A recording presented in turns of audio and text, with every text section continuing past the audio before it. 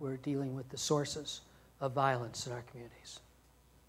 The meeting included an amazing group. Again, you can Google this. You can Google any of these. URDT, ROCA, CDI. Probably not many of you have ever heard of CDI. It stands for Center for Digital Inclusion. Um, there's been a lot of hubbub, a lot of kind of sometimes self-promotion. I'd say a lot of times self-promotion. Talk in the last decade or two that digital inclusion is a key to solving poverty in the world. People don't have access to the internet. They don't have access to being effective participants in their societies, which is some element of truth. But the idea that technology is going to solve these problems, at least to me, and probably most of you, always seemed at best a little naive and superficial. Um, CDI is based in Rio. Uh, it was founded by a remarkable young man. Well, he was young when he founded, about 25 years old. Um, his name is Rodrigo Baggio. I was a successful uh, uh, uh IT entrepreneur. And at the age of 25, he said, I've made plenty of money. I don't need any more money. I want to do something.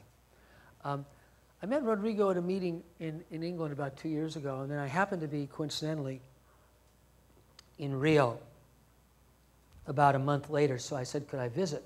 And he said, yeah, just come to the first center we established. How many of you have ever seen the movie City of God? City of God. it's a very difficult movie, but it's, it's quite a remarkable movie. It, I went to the favela was that, where that was filmed. Now, the favelas in Rio are very interesting because literally the city is designed and planned around areas that are kind of roped off. I mean, you could call it an apartheid type system. I think that maybe is a little extreme, but it's not like there's limited movement. But, you know, these are places where poor people live, very poor people live. They're very violent. The police do not go into a lot of these.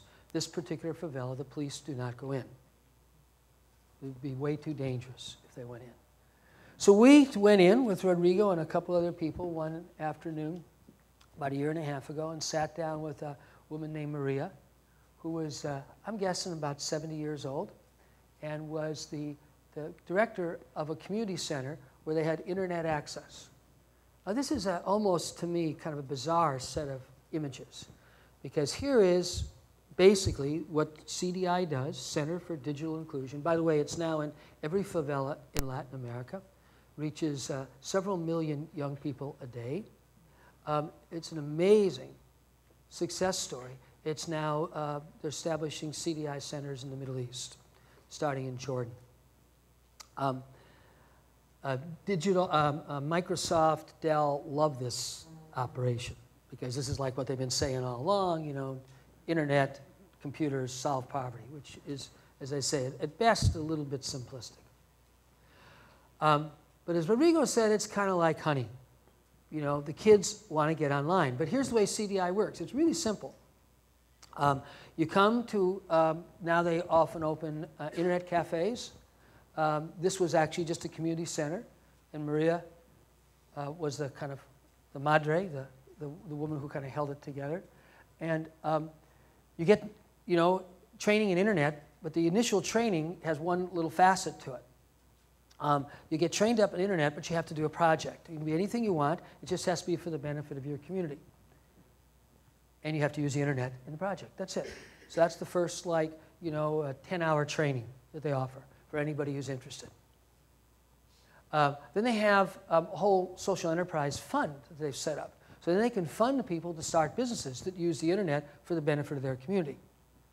Uh, I think Rodrigo may be the only person, there's three of the fellowships. There's the Ashoka Fellowship and two others, I forget that are kind of like Ashoka.